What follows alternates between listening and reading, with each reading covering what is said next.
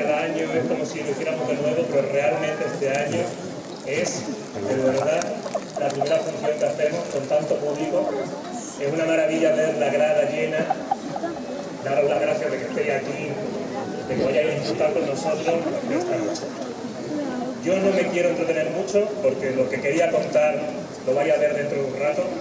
También cuando he escrito en el programa es lo que pienso de lo que vamos a ver, de lo que vais a ver y el esfuerzo que, que tanta y tanta gente hemos hecho para que esto salga adelante.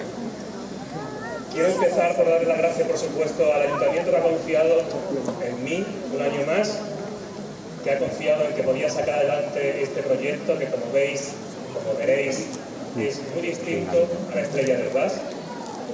Es otra forma de ver una historia que nos afectó, que sufrimos hace mucho tiempo y que todavía estamos intentando recuperar y integrar en nuestra cultura. Gracias a todos, a todos los que han trabajado en esto. Quiero darles las gracias desde el corazón a los actores. Sin ellos esto no sería posible. Me han tenido que aguantar durante meses, me han tenido que aguantar mi mal humor y a veces mi risa también y sé que ellos han dado todo, todo lo que tienen y así lo van a hacer esta noche. Para mí ha sido un placer enorme conocer a Lorenzo, a Lorenzo Torrico, que ha hecho un trabajo maravilloso con el coro y con los músicos. Sin él esta obra no podría ser, no sería lo que es. Y yo Lorenzo, muchas gracias, muchas, muchas gracias.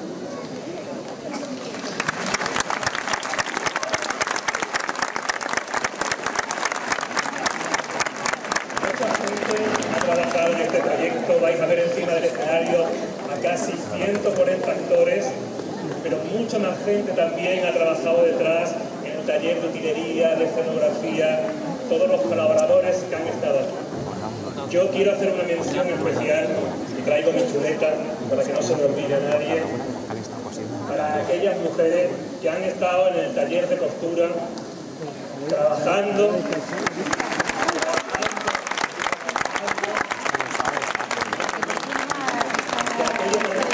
un taller clandestino desde la primera hora de la tarde hasta la última hora de la noche.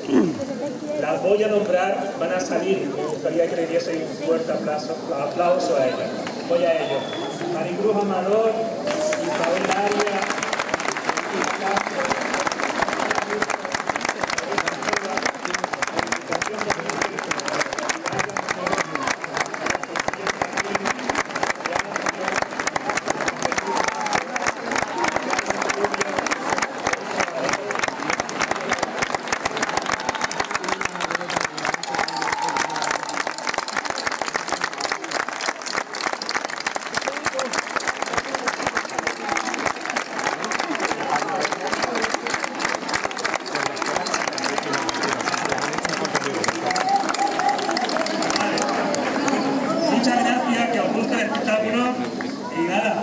Muchas